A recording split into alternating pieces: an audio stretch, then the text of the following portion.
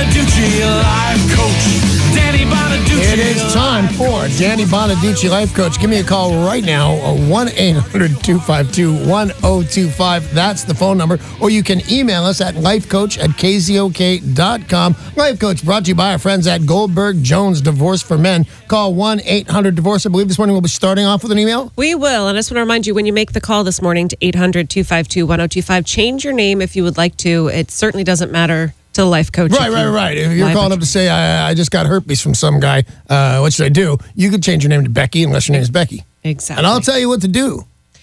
We've got an email here uh, from George in Lakewood. I have three months sober after many years of drinking. I have heard the life coach's encouraging stories over the radio to th- and I have his stories to thank for my sobriety. I am attending regular meetings, but I can't imagine going to them for the rest of my life. I feel like the meetings are becoming a crutch. Will it get easier? Will I someday be able to stop attending but still stay sober? Stay sober? you know, apparently one of us been drinking already this morning, man. It's only 7.35, Sarah. So he wants to know uh, will he be able to stop going to meetings or is that just the way it is? Well, I was just about to say the only experience I can give you is my own, but that's not true. Uh, I have friends with 25 uh, years sobriety uh, that I just talked to the other. The lovely, and he made no bones about this, or I wouldn't be telling the story. My friend uh, Bob Rivers has 25 years sober, and I, you know, I called him the other day and we were having a talk because I was having a kind of a difficult time about a month ago, and we talked about it. And he's he's one of those guys who says it does get easier. It does get easier. Me, I, I for me, but I've only been sober four years, and it's easier than it was, but it's not easy yet. But the the the thing I'm saying is, with obviously with time, and time is the answer to so many of the questions for life coach. Just give it a minute. The yeah, it will get easier. And you say the uh, meetings are starting to become a crutch. That's because they should. You know that that that term, it's becoming a crutch, comes from an actual crutch that it gives support. Well, they're they're necessary. Those crutches, crutches can be a completely necessary part of your life to lean on, and leaning on the meetings is not a bad idea. So yeah, it will get easier. And by the way, uh, how can this guy get a hold of me?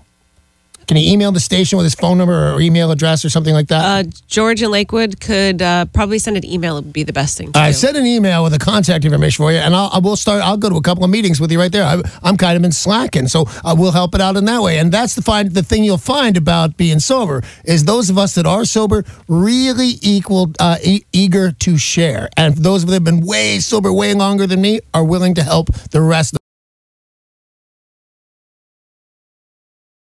Things are a crutch because that's a good idea. Keep going. And when you go to meetings, do you automatically get a sponsor or do you have to ask for a sponsor? uh, at the beginning of the meeting, there's a lot of uh, not rules, but uh, traditions that they go through, and one of them is if you if you have been all through all 12 steps and you're willing to be a sponsor, please raise your hands. And everybody raises their hands, and then people that need a sponsor go up to those people that raise their hands and say, "Can you help me out, brother?"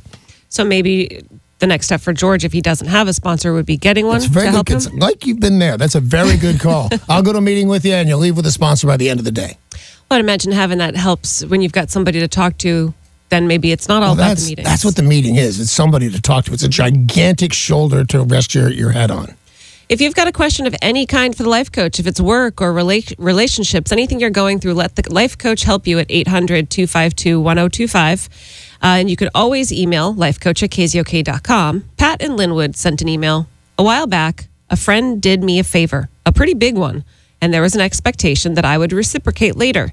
At first, I was eager to find a way to repay my friend's kindness, but now time keeps going on, and I'm less enthusiastic about finding a way to help her. Is there a statute of limitations on favors, or do I still owe her one? You do. You still. That's that's not even a difficult call. You absolutely because you know what you were dying to do. It means at the moment of impact when this uh, thing happened in your life, that was the moment that all your emotions were correct. I'm dying to repay her. She helped me out so bad, and uh, you know some of that stuff can eat me up. You know, I probably mentioned this. I stole four hundred dollars from Sushi on Sunset when I was working there. Ten years later, Because I thought about it all the time. I went and paid it back. This stuff will eventually eat at you. You know, it's you. The every day that you don't do right by this young lady, you're doing wrong, and it's wrong that's going to bother you. She came through. How would it be if the people that we neglected all the people that would come through for us? Nobody'd ever come through anymore. I think my, and the, you didn't say how difficult it is to pay her back, but you need to, or, or people are going to. It's all karma with that man, and you absolutely have to pay her back. If you've got a question for the life coach, you still have time to make the call to 800 252 1025. Elijah and Olympia, you're on with Danny Bonaduce, life coach. Hey, Elijah, how you doing? Hey, great. What's up? Hey, um, yeah, I just wanted to say, man, that um, you know, congrats. You know what? A, what a difference from Power ninety two to what you're doing now. That's the Yeah. that's the radio station I was working to in Phoenix when everything went to hell in a handbasket, man. Absolutely. You know, and I wouldn't say that it sounds like you've been through a lot, and um, man, really gained a lot of wisdom. well, thank you.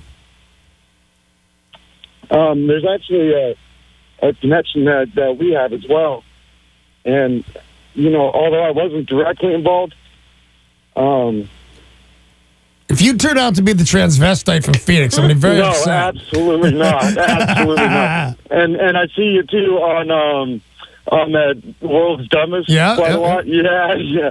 And um and then of course you know they throw that in there once in a while the other comedians and I crack up, but because I know all the stories and All everything. right, But now back to whatever it is that you and I have in common, or why you called me. um well just because I wanted to say first of all my apologies for um I don't know if you remember about your car, the IROC. Yeah. Yeah. Did you Um, steal my car? No, I did not. I did not. But what ended up happening, and, and this is a crazy story, if I could tell you real quick. Real quick though, bro. Um, Okay. Um, I would like to talk to you more as well, if, if that's at all possible, because I think you're a great guy. well, thanks. uh, Uh, yeah. Paul, put him on hold. when We're done. And Givens, can you get his number for me? Thanks, you guys. Um, yeah, so um, there were some people apparently that had stolen your car, um, but they had the keys to it, but they brought it to us, and they were saying that um, it was from somebody that owed them money, and they were going to sell it and get the the guy would get his insurance or whatever, blah blah blah. Just some stupid story. I didn't even know it was yours, who it was, or whatever. Um, to be honest, even when they mentioned your name at first, I didn't even know um, who Danny Bonaduce was, and then I remembered after they said from Partridge Family. That'll But do um, it. Yeah. yeah, right. But um, eh, so Elijah, did you run a chop shop?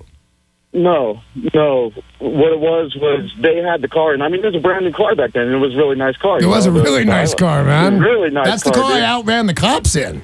I was just telling you guys about this morning. That was that one. Oh, oh no, really? Yeah. Wow. By the way, my apologies to all the cops. I didn't mean to. It was a bad part of my life. right. But yeah, so what happened was, was I, I went along for the ride, you know, and they took it to In some my under, undercover cops. They took it to some undercover cops that had actually uh, Well, I, I'll tell you. I'll tell you this, Elijah, and then we have to get right to the meat of your question. Uh, this turned out to be a big deal. I don't know that you know this or not, but your friends were a part of a huge organized car theft ring, and that's why you were involved with an undercover. co- It was a sting. They've been after that ring for a really long time. So that's how it happened. Now, now I got to get to you, Elijah. You have to tell me why you called. What can I help you with? Well, it's my smoking, you know? Yeah. I mean, I smoke bad, and I smoke the roll own because they're cheap, you know?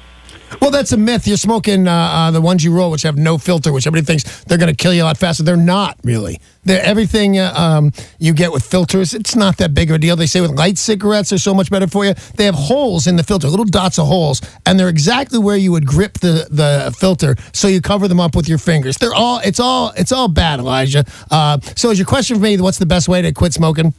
Yeah. Well, here's what I would recommend, uh, and and do it all before cancer and mouth cancer and all that stuff. Uh, do you ever see those people on TV with colostomy bags and the new "You better quit smoking" commercials? It's awful. The guys that take their teeth out. You should get to this. I can't believe anybody still smokes, but it's so hard. Uh, I did not do this, but I, I would recommend, from what I've heard, Chantix seems to be an incredible way to go. Uh, you got to go to your regular MD to get your Chantix. Having said that, I used um, the patches, the Nicorette patches, and the Nicorette gum. I really uh, recommend. But these are the things where science has worked out how to make your addiction manageable. It really is possible to quit. Just don't flip out when you fail for the seventh time. That's what it's going to take. So I'm going to say the Chantix, the patches, the gum, everything you got, uh, even nicotine lollipops, my brother, and you will probably quit smoking. Thanks, Elijah.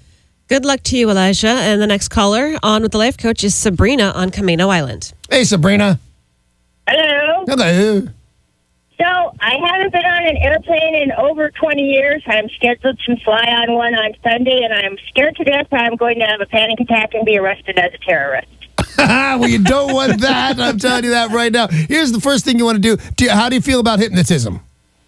Uh, I, I've, I've had it tried on me, and it doesn't work. I I don't want to take. I don't want to take any drugs or alcohol because that's not conquering anything. That's just Well, you know, you know what, Sabrina? I don't know that, that you have to uh, conquer it. Um, I was talking to the wife last night. Her sister didn't have any drugs or an epidural or anything during childbirth.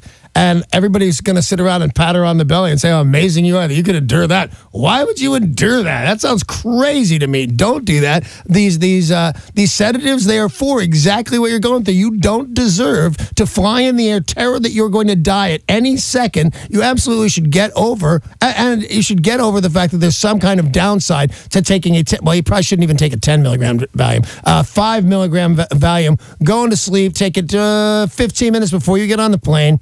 Uh, and try, get on your flight, and you'll do all right. And by the way, talk to your doctor because you know he'll prescribe it for you. When you say terror, he'll prescribe it for you. You're a wonderful girl. He doesn't. An MD doesn't want you in terror, but he'll tell you the other ways to take it successfully. But somebody made these drugs for a reason, Sabrina, and you should avail yourself of them. Good luck, Sabrina. I appreciate the phone call. And she should probably not be that scared to fly because statistically, You're more likely to get eaten by a great white shark that already ate three other people while getting struck by lightning.